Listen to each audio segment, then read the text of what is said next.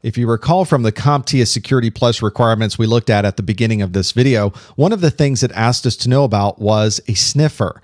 And it has a little bit of a double meaning in our industry. It's sort of a generic term we're now using, but the term sniffer is actually a product, it's actually a registered trademark of a company called NetScout Systems.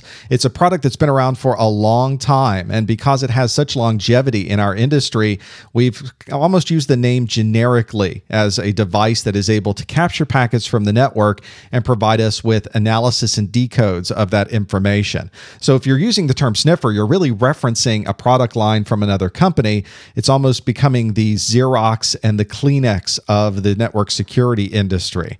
There are very common ways to capture packets and display those packets on the screen. And that's really what we're talking about. When you hear somebody say sniffer, what they're really talking about is a network analyzer. It's something that can grab those packets and show them in plain English on the screen. What's going through the network. Take all those ones and zeros and those signals that are going across that Ethernet connection and somehow put them all together and show us that that was a web conversation or exactly what might be going across that link. Very, very common technology. In fact, these days it's almost an easy one to find because there are some very good open source options. One of the most popular network analysis tools you'll find is one called Wireshark. If you go to wireshark.org, you'll be able to download that, load it on your machine, capture your packets from the network right now and be able to see exactly what's going on on your protocol analyzer.